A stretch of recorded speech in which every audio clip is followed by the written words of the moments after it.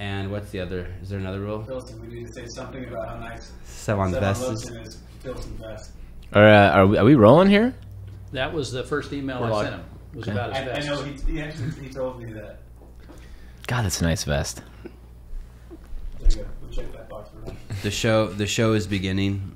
Um, we're fortunate enough to have Tyson and Matt in here today. It's a competition between who will move forward. If you want to call it that. I feel like competition's over also. Eric, uh, until he goes on the next vacation. We have Eric Maciel, the engineer and sound expert, um, the guy who's responsible for the audio from all the microphones. And we've been getting some complaints that some of the mics aren't working adequately. It's been fixed, by the way. okay. Oh yeah, your mic works great. And we Josh have, was a little low. he was. Yeah. We're learning. We're in the learning curve. Did you hear that? Josh was a little low. Yeah. I mean, he is a low man. Was it his fault or our fault? Shots fired. Hard guy, to say. guy gets a haircut, a girlfriend, whole Is, new is- man over is, there. Bob, is, is Bob close enough to? Testing. One, two, three. Um, give us two more inches. yeah, I mean, it's and like you can move your chair forward too if you want. almost like uncomfortably close. Yeah. How's that? It's Way perfect. Much better. Much Yeah. better. Yeah. and You're you gonna can have move to your change chair the foam too. when we're done. All right. Um, Is this the one Josh was using? you're you're a doctor. Is there anything un um, unhygienic? Is that a word? Is there It any- is. Is there anything unhygienic about sharing microphones? Not unless I mean it's like kissing an escalator. Wow. So that's yes, it is Yes. unhygienic. Well, Josh did use that. He used it three days ago, I feel closer to him already. four days ago. M- may- maybe you'll get some of that mojo in your workout. I could use it. Um, It's probably safer than this one. Dan Bailey used this one. He's known for. oh my God. Splatter shield. I like a. I commented on his hygiene in the um, his glandular issues in Oh, the yeah, episode. Yeah. Um, and we have Bob Spears Yes. visiting from 40 miles north Saratoga. of here. Yes. For those of you who don't know, we're in Santa Cruz, California, um, and Bob is a Anesthesiologist in private practice in the Bay Area for the last 25 years. And when you say, what's the difference between private practice and not private practice? Well, there's academic practice, which uh, I had no interest in, but uh, that puts you in a place like UCSF or uh, Stanford. do you still put people to sleep? It do those people still put people to sleep? Well, they have Numb people stuff? put people to sleep for them. Okay, so tell me exactly what an anesthesiologist does. Like your the broad scope of.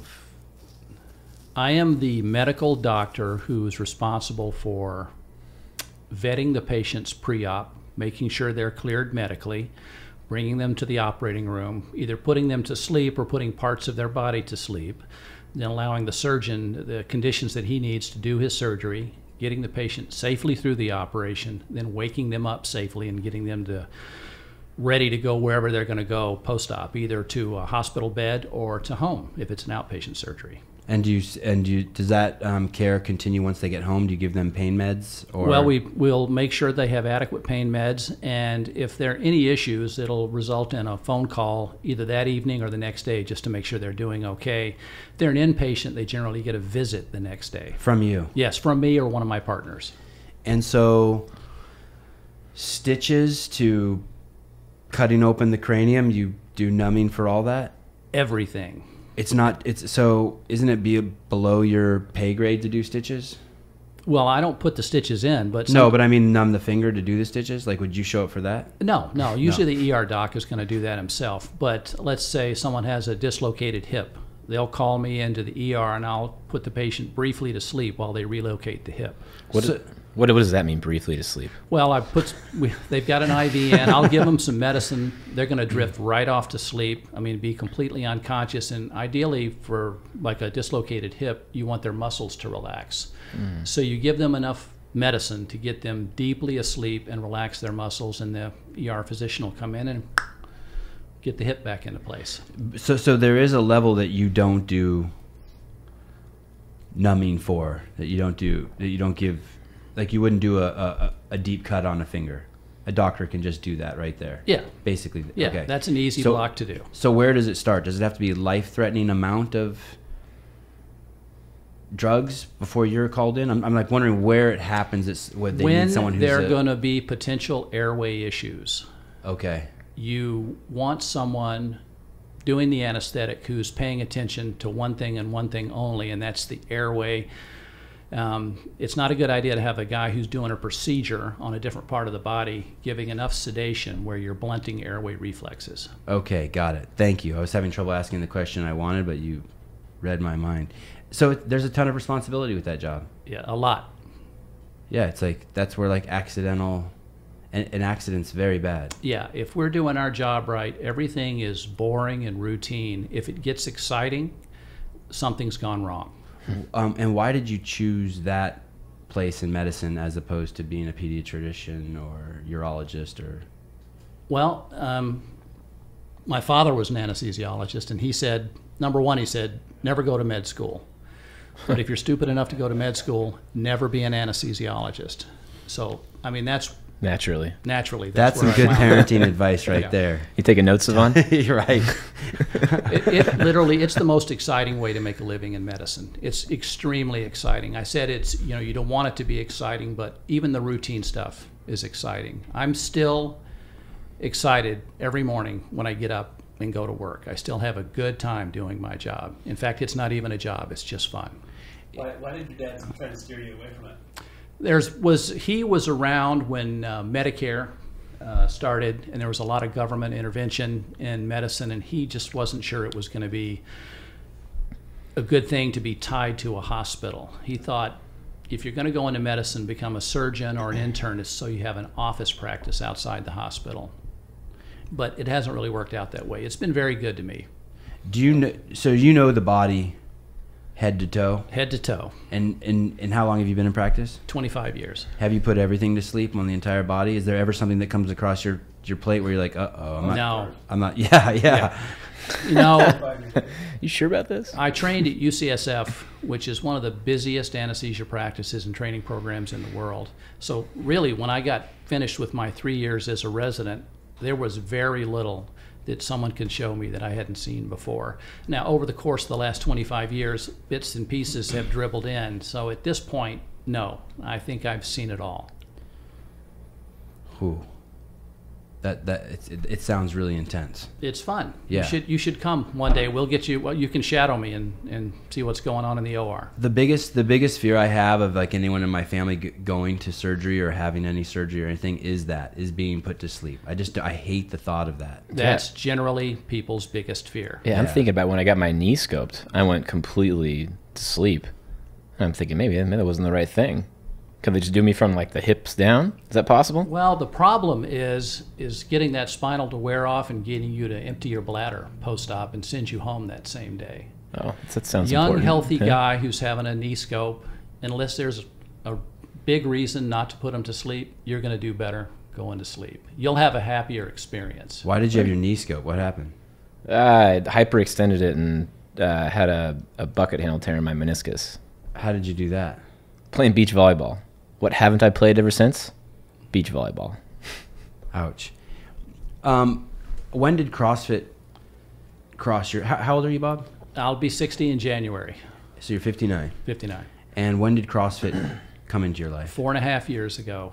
Um, I, like we were talking about earlier, my son, who's now away at college, uh, wanted to learn how to box. Um, Is he going to be a doctor? he's going to be a dancer, computer guy. Sweet, a dancer and a computer Yeah, guy. and and a weightlifter actually. He lifts uh, So the com- squat rack we've got. A computer guy who's not sedentary. Oh, this guy's definitely not sedentary. What kind of dance? Uh, Hip hop. And does he? Do the ladies like him? The ladies love him. He has a girlfriend, but the ladies love him. He's very handsome. What If is it? I'm getting my son into dancing for that exact reason. Do you have stuff on on, uh, on the internet? Yes, if you go to 2XS, 2XS for the University of Michigan, uh, Oh, they've got a YouTube channel, and he's on it. I don't know about you guys, but how many times were you just a, the flower on the wall, and the one guy that could dance at your school was dancing with the 20 ladies, and you're like just a, I was just that goofy. You were trying to find ways to make fun of him to justify No, yourself no, not I, dancing. I was too. I was too. I didn't even get to making fun of him. I was just so sad that I had no skills. This guy, he is no flower. The Yeah. first time we knew he was dancing, we sent him to a snowboard camp up in Mount Hood one summer. Uh-huh. And he had an okay time with the snowboard, but we saw a bunch of pictures of him. Uh, he's maybe eight years old. He had a crowd of about 500 people around him doing some hip hop dancing in a talent At- contest At eight? at eight. Oh, so he's been at this for a while. And he taught himself all on YouTube by himself. At the trainer summit every year, the the L1 team, Dave and Nicole run a trainer summit every year for the you know those elite trainers that are part of their cadre, that Yeah. L1 team, and they do a at the end they have a party and there's always dancing, and they are amazing dancers. It is. Yeah. I want to say when we were, I was watch. in Nashville for the Central Regional, and uh, they've got that main street in Nashville, and we turned the corner, started walking down it, and on the corner there's like the third story of a bar, and you could see in it, and there was Chuck Carswell just lighting up the room, like on fire, Do you know flames who coming out Chuck the is, windows. Bob? No, Okay. Chuck's at one of the L1 trainers, but I know you know a lot about CrossFit. Well, yeah, I've learned it all from you guys. I checked your. I, we know we need to talk about Chuck more. I checked your Instagram, and it, it, it. I mean, it looks like our CrossFit WOD of the Day Instagram. The way you post all your workouts. and like, Those are for yeah. my. I've got a brother uh, in Afghanistan. He's a private contractor in Afghanistan, and he was getting fat and out of shape just like me. And we made the agreement to uh, both work out. So I make sure he sees my workout every day. And sometimes he does it, sometimes he doesn't. But if he's not doing what I did, he's doing something else. You were fat. 220 pounds, couldn't run 50 yards, couldn't go up a, you know, three flights of stairs, couldn't hit a heavy bag without my whole You're body a doctor, hurting. aren't you supposed to know better? I mean, am supposed to know better. I was Yeah. too busy being a doctor. Is that is that embar- Is that embarrassing being a, being a fat doctor? Like I'll go to the doctor and he's like checking me out for my health or something, or you know, like asking me to cough, and I'm just looking at him being like, I mean, you look like sh-. I'm, I'm- judging him. It Yeah, it I'm wasn't on him. until very I wanna teach late him something. until very late that I discovered myself feeling that way. Like you weren't a good good role model. I wasn't a good role model, and I, you know, I've got when I meet a patient, generally I meet them 10 minutes before surgery, so I've got about 10 minutes to make a good impression and make them, you know, really confident that I'm going to get them through this and keep them alive. And the physicality I was presenting was not adequate, That's cool. and hmm. it's it's much better now. That's much better now. And you're noticing a different reaction from your patients. Absolutely, 100 percent. Yeah, that's really really cool. What was that definitive moment where you realized there needed to be a change? Well, it was a combination of hitting that heavy bag in the boxing place and feeling my whole body hurt. Seeing these people coming in and out of that uh, CrossFit affiliate, and then thinking to myself, you know, I can do that. I So can, you were sorry, you were parked in front of a CrossFit affiliate waiting for your son to finish a yeah, boxing these class. people were coming in and and out. see They're these- running intervals and things. You see the cult going on. So I, what I did uh, one day is I put on some shorts and uh, got some shoes and said, I'm just going to go run around the block and see how I feel. At your house. No, at at That same place. at the affiliate. while I'm waiting on my son. Hey, that's bold. that's bold. yeah, not a route I many people would take. I got about 50 meters and start had to walk, and I mean that was a real wake up call because when I was younger, I, as we told you earlier, I was doing martial arts and I was in fairly good shape, and I thought that I could carry that, you know, into my 80s, and absolutely not. Wow. love that you did that at the affiliate. Yeah. In my mind, I pictured them, like the class leaving for like a 400, and you're just like trying to join in. Yeah, and, was- and they get a free and they get a free uh, class in. Just enter Yeah. in with them. That's what I try to do when I'm late to class sometimes. Just catch them on the run. Just blend in. Yeah. They're the whole time. That's cool. So you do that run.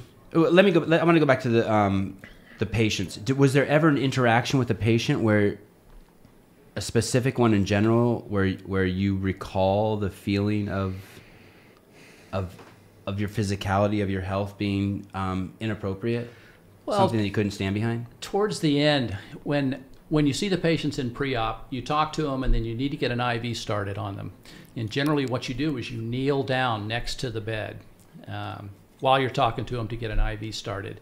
And i started to notice that it was getting harder to kneel down because my gut was in the way. And then once i was down it was getting really hard to get back up. Wow. So a couple of times it's, you know, I'm making these noises as I'm getting up and I can see the look in the patient's face. It's like, who is this guy? Is he going to be able to take care of me? Did your did your son ever remark make any remarks about your weight? Is he No, and no. my wife didn't either, and which is amazing because she is one fit individual and has been The whole relationship. the whole relationship. So you had good role models around you. You had a son who was very physical and athletic, and you had a wife who was very physical Yes. and athletic. yeah, But you were just fixated on your job I and was your work. working and- hard, Okay. really hard. That's kind of a culture of. I mean, all all of you guys are workaholics. You mean in, the, in the medical? You mean in the hospital, Yeah, yeah, behind the hospital probably- doors? It was probably just so normal, right? It's t- completely Because- normal. Drink, drink, you drink, so drink hard, soda pop, coffee, donuts. Hospital food, it's it's all bad.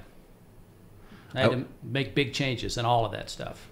I'm trying to think. What's the hospital here? Sutter, where I go. I love the hospital, but um, you go in there and there's a uh, they have like the little store down there, and it's it's more candy than you've ever seen in your life. That's right. It's more than like the candy store that's across the street from the Monterey Aquarium.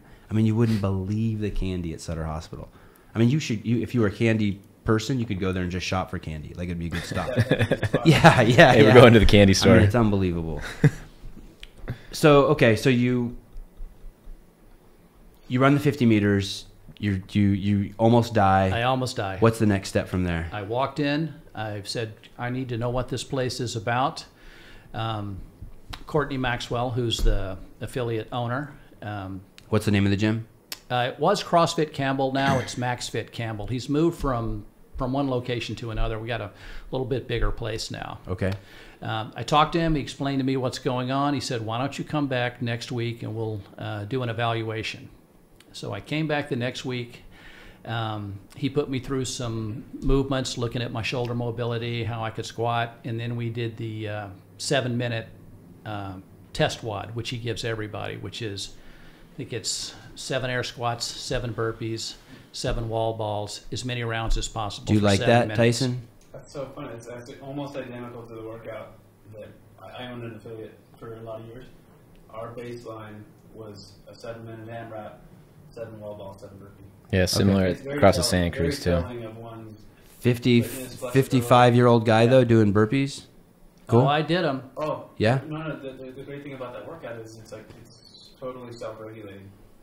You know, like you right. can't overdo it. Well, it, well, it actually would happen quite often where people would push their limits. But you know, as a, as a coach, as a trainer, you can really assess and learn a lot about who you're dealing with based on their ability to move through those that range of those ranges of motion and and and you really get a, a really strong glimpse of like where their fitness is trying to work through two movements that require a lot of range of motion And you're you're 55 at the time. 55. Six foot.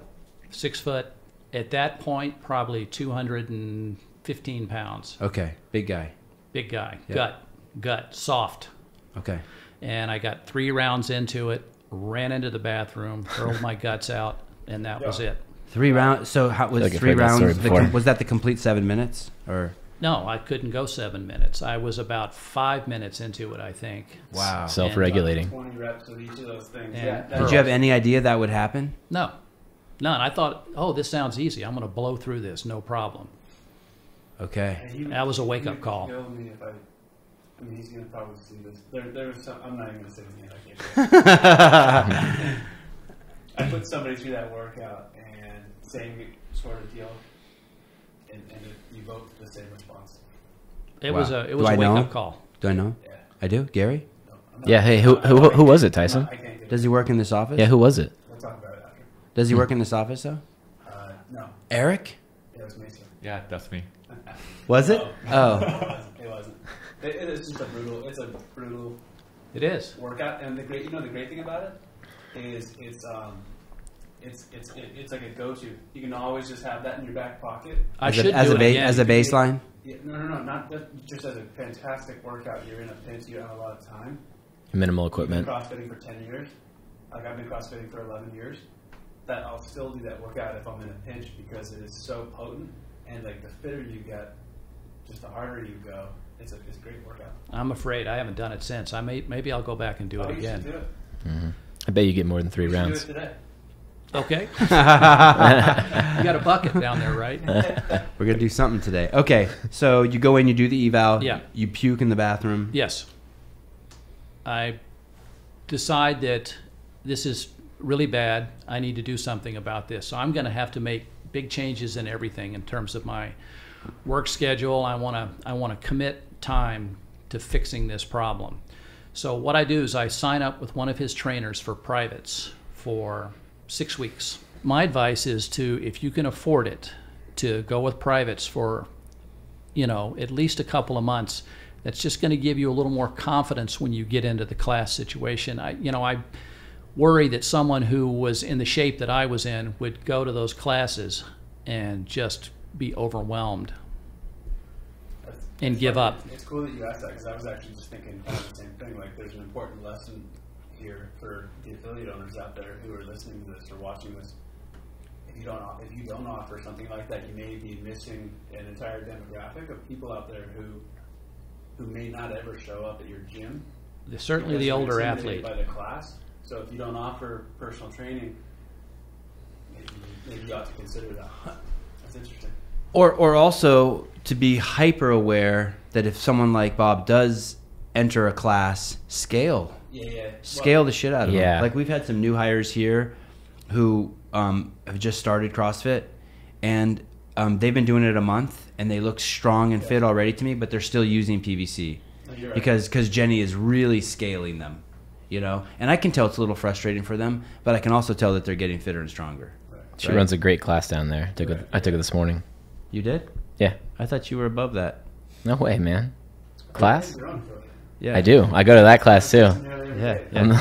I got I go to I go to two affiliates. Matt's one of the fitter people. He's not as fit as Carrie, that guy I showed you in the hallway. Yeah. But Gary's not. injured. Well, let me ask you a question then, because I, Yeah. I do this, um, and as, as a coach, do you, is it okay for me to scale when we're doing a workout independently? If if I think I'm not going to be able to get through the workout at whatever weight you prescribed or rep scheme you prescribed, what I do now is I'll scale it myself so that I'm finishing at the same time as the top 25% of the people. I feel better about myself when I do that, and it allows me to keep moving versus hmm. trying to do 95 pound thrusters in Fran. And I, I think I think that's to stop. That's the importance of scaling. You have to look at the RX workout. You know, what's the intention of this? How long do I want these athletes to be working for? What type of response am I trying to elicit? And then you can scale according to that. You can you can change your reps, time, whatever. I think he be. agrees with you there. He's referencing gym etiquette. Oh. He's saying, am I right? He's saying he walks in there and, and the coach has the bar lined up for him. And he's like, Bob, get at that. And Bob's like, I, I'm, I'm going to be here for 15 minutes and I don't want that stimulus. I want the stimulus of to do the six minute Fran. So I want to make it 65 pounds.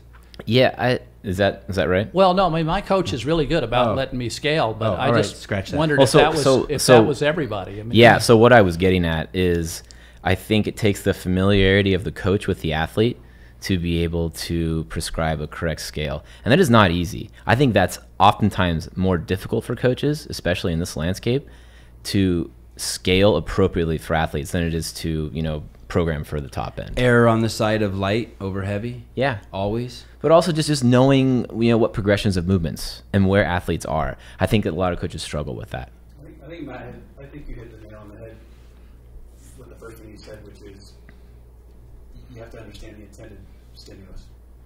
So, whether as a as an athlete or as a coach, that's that's what you need to be asking yourself: is what am I going to hit the intended stimulus if I do this RX? If not, what is the proper scale? Because and, a lot, and is the intended stimulus for Fran, Frankoff? And forearms where you can't It's pick up your supposed to be- bag? Time intensity, You know, exactly. You, Time you domain. wanna- You want to see good range of motion and, and you want to see intensity. And, and you know, as a coach, if I were if I were coaching still, um, I would I would try and have all of my members coming in at under five six minutes, and anyone that's working ten minutes, I, I don't think I did my job right for Fran mm-hmm. specifically.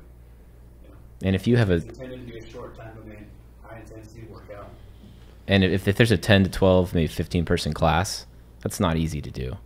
If you've got more than half the class scaling, say you've got five people who are doing RX, they've done it before. It's like, okay, fine. You go do your thing, you know what you're doing.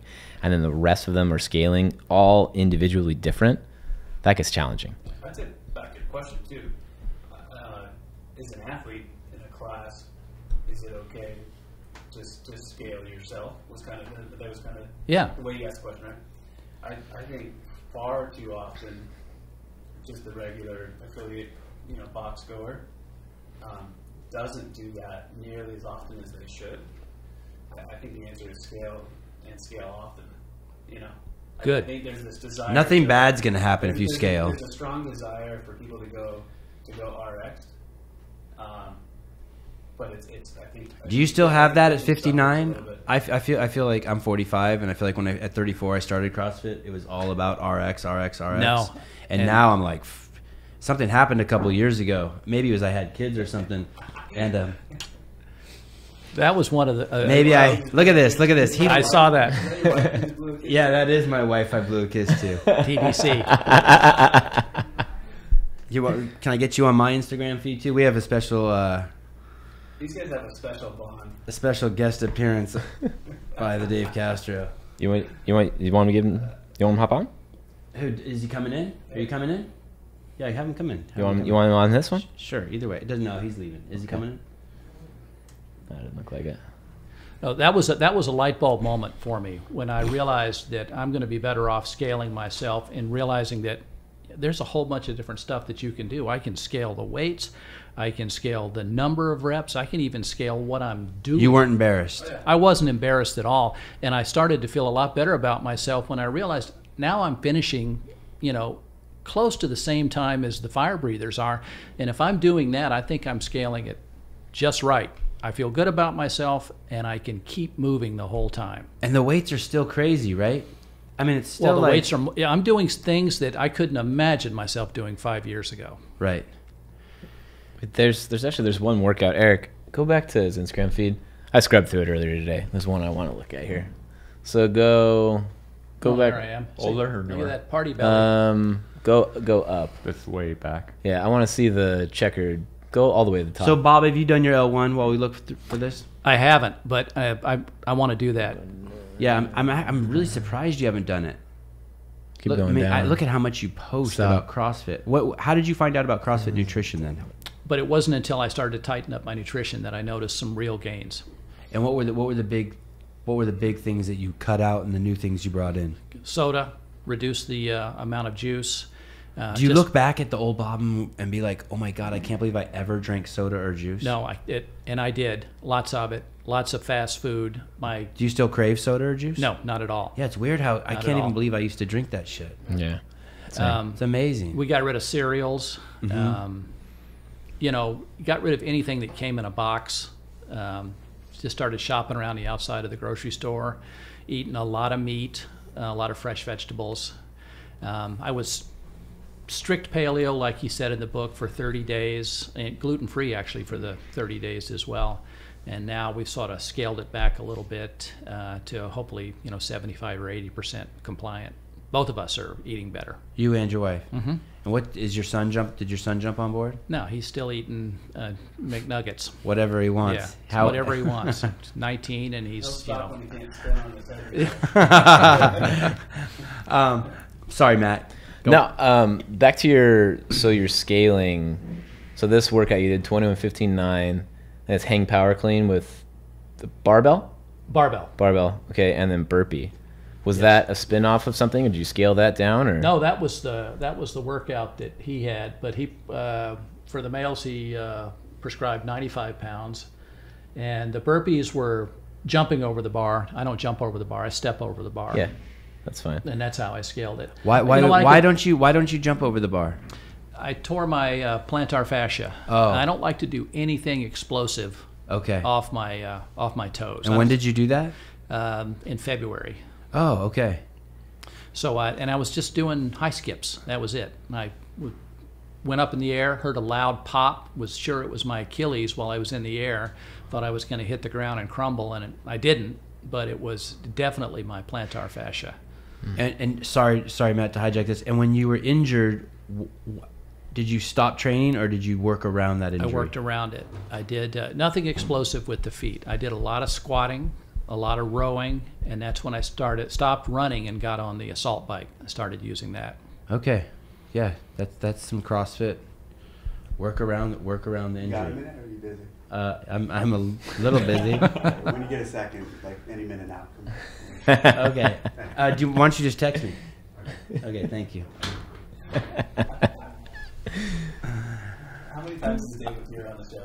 I think three or four times. Hey, Dave, do you want to do a podcast after this, me and you? I'm good, bro. All right. um, when, when I when I first went to my L one, I remember Greg saying something along the lines of uh, animals when they're when they're injured. You know, mama lion's out in the wild, something happens to her, she has her paw torn off, or she's injured or whatnot. She can't take a break.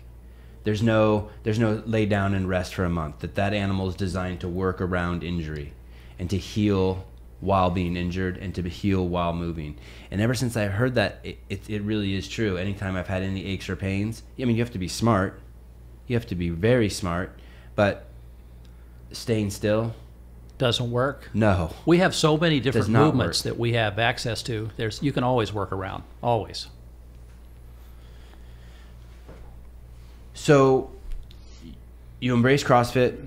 18 months later, you embrace nutrition. Yes. the uh, changing your nutrition, and and and now you've been doing it for four. Be five years in April. This video that you saw that Greg did, um, the world's most vexing problem. Yes, you did see that. I did. And before, as we were walking into the office, you were saying that you that that was spot on. What stuck with you in there? What resonated with you in there? It's what a huge problem soda and carbohydrates is for the world. You guys in this office, you see one end of the spectrum. You see a bunch of really healthy people walking around. I see the complete other end of that curve. The people I see at the hospital have, for decades, been drinking soda, eating Big Macs, French fries, and they've got the full gamut of chronic disease, diabetes, obesity, hypertension. The one thing that uh, Coach didn't mention, and is a big part of the problem, is smoking and COPD. That's a big overlay to this problem. COPD. What's that? Chronic obstructive pulmonary disease, emphysema Okay. From smoking. People are still smoking. It's weird. Like I don't. Oh, yeah. Yeah. Okay. Yeah. Oh yeah, I mean, in my world, everybody smokes. all these, all my patients, Okay. you know, if they're there for surgery, more than likely they're smoking. and and I'm assuming all of the being overweight seriously complicates any surgery that would be less far less complicated for someone like like us. Yes, yes. Because the- taking care of an, a morbidly obese person is doing an anesthetic on them is really difficult. because targeting They- this they- the right They've got all of the. I mean, it's it's the full range. They're hard to find veins on, so it's hard to get an IV in. Uh, their airways are hard to manage because their necks are so thick. They're hard to intubate. Um, they're extremely hard to position. A lot of times uh, in the operating room, once they're asleep, you've got to pick them up, Oh, put them man. prone. Um, so has that helped doing CrossFit doing that Fli- absolutely, flipping them over 100%. I, now know how Yeah. to move these patients. yeah if the cure is CrossFit if it is um, change of diet um, cut out the carbs stay away from the sedentary lifestyle why aren't people doing it it seems so easy cheaper Oh, carbohydrates are cheaper. uh, in terms of medical care? Like, would I rather spend a week a week with you, or would I rather spend a couple hours a day? I mean, I mean, what do you see? Is it is it is it ignorance? Is it laziness? Is it avoiding discomfort? Is There's it, no education. Yeah, I was gonna say, I don't think people don't know what they don't know. No. You know, they're And there's a, fatter and fatter. like people who are eating gor- cornflakes for breakfast and being like, "Oh, I eat a healthy breakfast." right. Yeah, okay. yeah. It's, like, that's, It's like, still the norm. real. It's not healthy. I mean, so where, where are they getting most of their dietary you know, direction? But- Daytime TV. Yeah, I was gonna say, Government. but even on day daytime TV, there's such Do doc there's, there's such an incredible uh, amount of information that's being put out there, and so much of it conflicts. do doctors know? Some do, some don't. I still hear a lot of, we need to get you on a low fat diet. Um, which, you know, Is that taught in medical school? How where where do where do physicians get their bad? we had, I think we had two weeks of nutrition over a four-year medical school course, and it was the food triangle. Okay. I was gonna say the low fat diet stuff. I mean, that, that starts that starts in health class in junior high. Yeah. I mean, it's it's, it's the I think it, I think it was recently changed in 04. Have you have you prescribed anyone um, CrossFit? I've talked to my patients about it. Yeah. You bet. And Have- you know, Have any of them embraced it? Not that I know of. Okay. I've taken care of, I think, four or five CrossFitters now. I ask every patient uh, that I take care of what they do and how they stay fit now. It's part of my routine questions. So even if they're not fit, someone comes in, you'll be like, you give them the chance to answer that question. Yeah, yeah. I ask them what they do for exercise, and I've uh, you know found four or five patients who were CrossFitters, a- and let me tell you, they make the best patients. They are so easy to take care of. They tolerate an anesthetic well. They go to sleep quickly. They're stable while they're asleep. They're easy to move around on the bed. They wake up quickly. They go home quickly, and they have very few post-op problems. Do you do um, do you do cosmetic surgery in terms of giving? It's- the, the the vast majority of what I'm doing now is that. Wow. that was that was the thing that I had to in order to make time to do CrossFit and you know sort of maintain my body.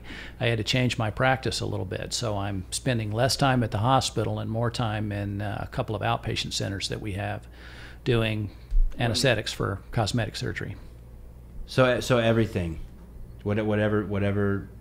Liposuction, facelifts, rhinoplasties, breast augmentations. And those, are those are those all like vanity surgeries?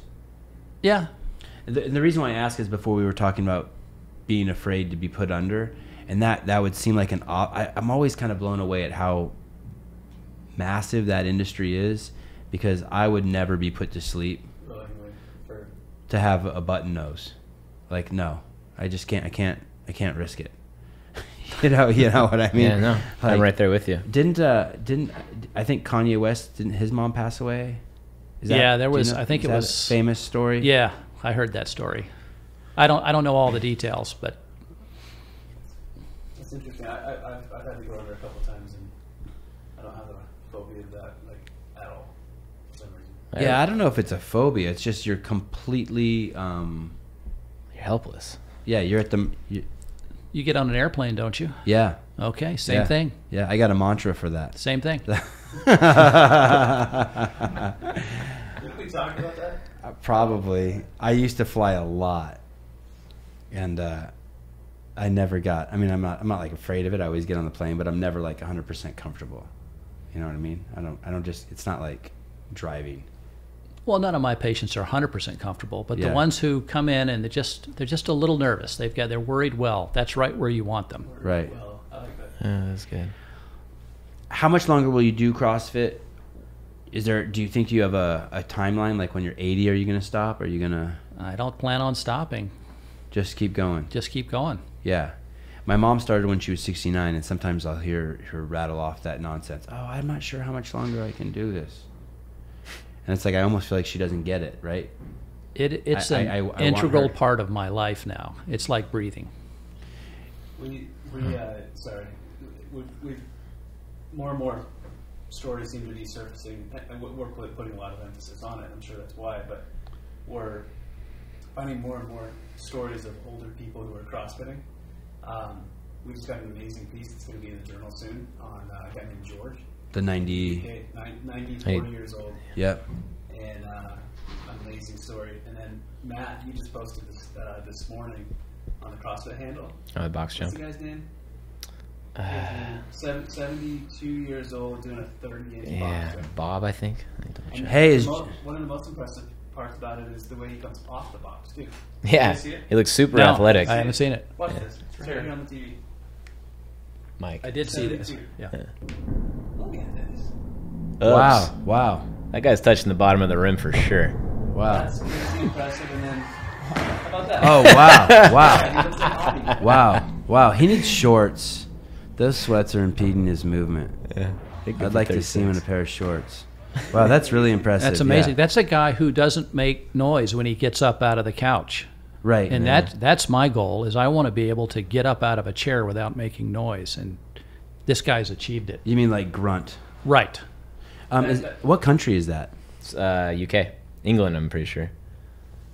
I think I like those pads. I want those pads to stack Sisser. like that for Avi. This is actually the gym that has the. Uh, there's a guy who's scaled um, Everest like 14 times. This is his gym.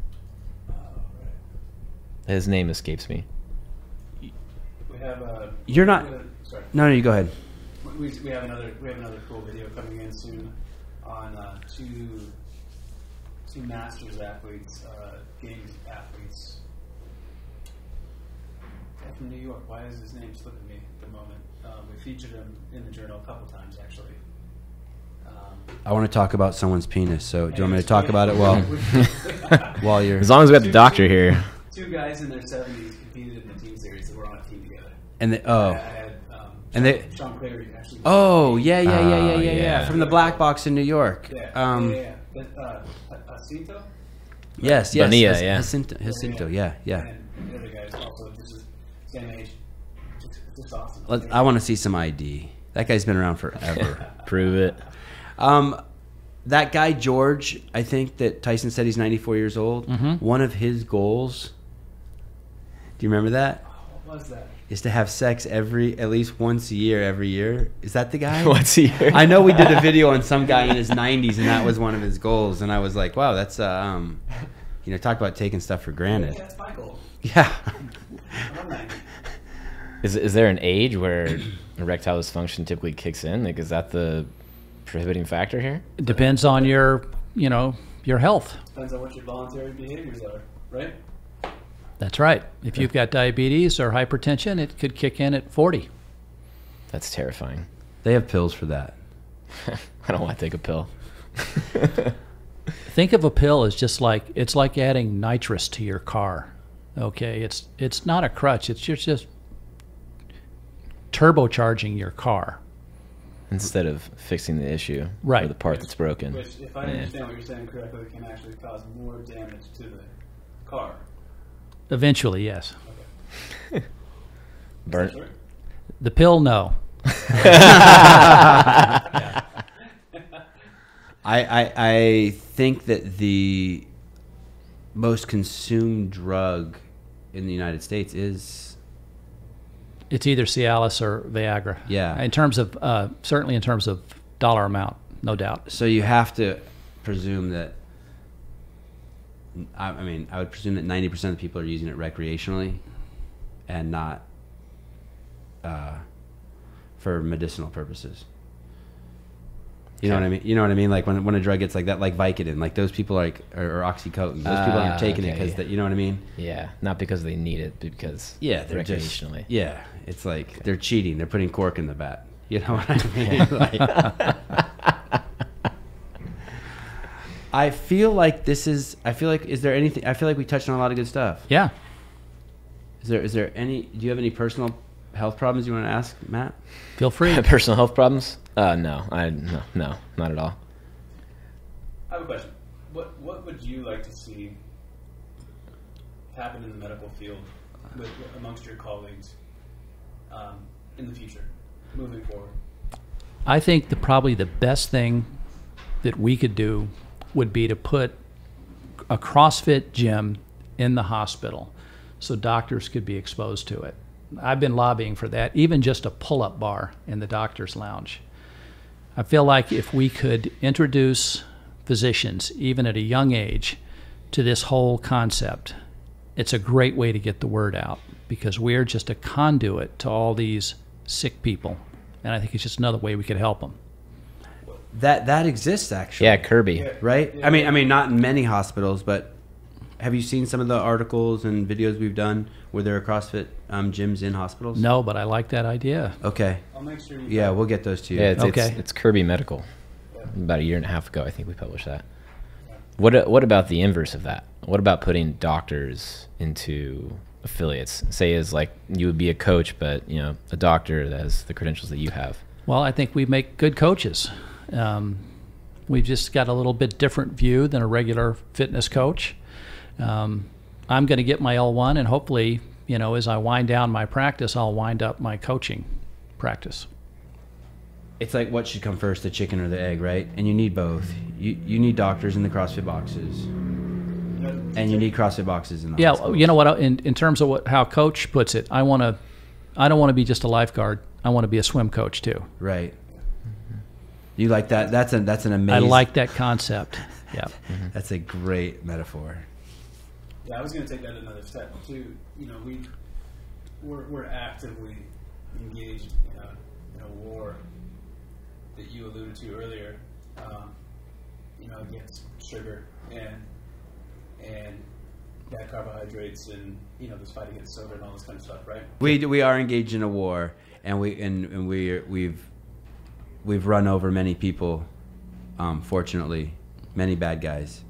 Um, no one is suing us, but we are. Um, some people have tried to say some really, some things that are just absolutely not true about us, and they've been run over. We are on the offensive. yeah, um, we are in a war, and another way Greg talks about it is we're in a war for metabolism. Right. There's you know people like Coca Cola, Pepsi, et cetera, fighting for the metabolism to get control of your metabolism, and then there's us. We're trying to get control, give people another opportunity.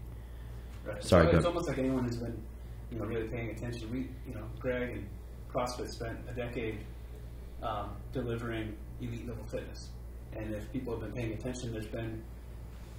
It, it's not that we're engaged in something new. We've always, we've, our nutrition um, guidelines have always been the same. You know, for well over a decade, and you know, but there's been a shift in our efforts a little bit, and now it's delivering elite level health. And that's and, and what that looks like is it looks like this war against soda, this war against sugar, right? We're drowning in the fittest people in the world. No one's arguing that CrossFit will make you fitter than any other person on the planet, right? Right. So now, but we can't let the uh, we can't let that become our only identity because the truth is, is like you've discovered, it saves people's lives. It does. right, Right. It's, and that's the real miracle. Who cares if you have a three minute Fran versus a three And if it doesn't Fran? save your life, it can still improve your life and change your Dramatically. life dramatically. and that just to wrap up my point. Um, so yes, it would be amazing to see affiliates in hospitals, and that it like very directly hits one of two of the, our prongs, right? One being constantly very functional movement performed at high intensity, but but the, the drum that we're really banging and we're banging loud and, and, and we're banging it daily and we're pissing a lot of people off while we're at it is is the other you know prong which is is nutrition Yeah. you know, and that's the war that we're really engaged in. So I guess that was kind of the nature of my question. Like, you, you know, you mentioned even when you found CrossFit, when did you really notice the change? When I changed my nutrition, no doubt, no doubt. Exactly, mm-hmm. Right. So, you, and you say, you know, you you described. By the way, let me add one thing. For all those people out there who are listening, that's one of the, the, the blessings of going to an affiliate. First of all, if once you take your L1, you'll notice the foundation of CrossFit is nutrition. And Greg will say if you're not doing the CrossFit nutritional method, then you're not doing CrossFit. I don't care about all the movements. Second of all, if you go and start hanging out at an affiliate, your diet will just change Yes. like through osmosis. And one day you won't drink soda anymore. Just go there and just be with those people. You're going to do what they do. Sorry, go ahead, Tyson. Yeah. Uh, no, but you, explained who you've been treating for 25 years, and it's this group of people that share um, a lot of the same uh, Lifestyle habits. behaviors, right? yes. And they choose to eat things they shouldn't eat, and, and, and they're naive to what they're doing to themselves. I get that; that's true. Um, you know, but but if, if, you know, if, if you explained in, in your personal experience, you really saw things really take off once you changed some of those eating behaviors. Um, that's that's kind of what I think we want to see is like, how long does it take before in the medical community do we see proper information come funneling it down About you know, nutrition. from doctors? Yeah, yeah, about nutrition, about nutrition. Well, like I said, with two weeks in a four-year medical school program, we got nutrition, and I'm going to guarantee you it's still the same. We just don't get that much nutrition information. It's a, it's a, That's amazing. it's amazing. How many times? Well, has it's- Greg gone and, and, he talks at, at, At universities hospitals and yeah, hospitals and universities, yeah, cool. on the regular. Got to go to the. Well- Got to go talk to the second and third year medical students. That's where you want to get them. Didn't Greg just say that at breakfast today? Yes. It's it's an amazing message he delivers, and I'm always surprised at how well the physicians in the room take it. They really, really take it well, especially when he does the lifeguard swim coach analogy. I'm always afraid that they're going to take offense to it, but they don't. And really, um, he isn't being offensive. He realizes that, as I'm sure we all do, that when you get in a car accident, you need a doctor. You don't need to do burpees. There's a place for doctors. Let's free them up so that they can do take care of the accidents in life, not take care of people who have bad, making bad lifestyle choices, right? Bad behaviors. But we have a lot of sway with the patients, and uh, there's a, a place for us to be coaches as well, For sure. uh, because we can, you know, give them the information, give them the nutritional information, but we have to have it ourselves first. Right. Right. Yeah, I'd say the majority of public they trust their personal physician, their doctor, Absolutely. And if there's that level of trust, I mean, why not give them the proper information? I will say this: it is difficult being a CrossFitter and being armed with the information we have to go into a doctor's office and him tell you some of the stuff that you just know is not true, like what, like when they start talking to you about exercise or take it easy or that cleans are dangerous or that there's a there's a there's things that they say that um, they feel like the worried grandmother sometimes. You know, like I heard um, Greg say that if you're going to in, improve your cardiovascular health, you're going to have to take risk with orthopedic calamity. And I feel like like we've lost that. Like, of course, of course, if you run and lift weights and blah blah blah, you do CrossFit, you had some plantar fasciitis uh, issues, You're going to get some injuries. right? But but that's the but you're also going to live to 90 and be able to wipe your own ass the entire time. I It's- still, it's I still trade-off. hear it from some of my orthopedic colleagues when you know I start talking about my CrossFit, which uh, you know, as you know, it's all you can do talk about CrossFit. Right. Um, they say, "Oh, my office is full of you guys." You know, Great. You're gonna hurt yourself. You're, you're, you know, it's no good. Stop it. Don't put anything over your head. we had a guy, and he was the number one draft pick of the Houston Astros, and he was only the third time a left-handed pitcher I think had ever been the first round pick. Is that who it was? And and he did CrossFit the entire time, and, and there's this um, you know general rule of thumb with pitchers: don't lift any weights overhead. And yet he'd been doing CrossFit his whole his whole life. I mean, it's just yeah, it's amazing. Well, I think that's good Thanks for having me. for your first visit. This place is a blast. Cool. Yeah. Let's go get a workout. Yeah. Let's go get a workout. Awesome. All right.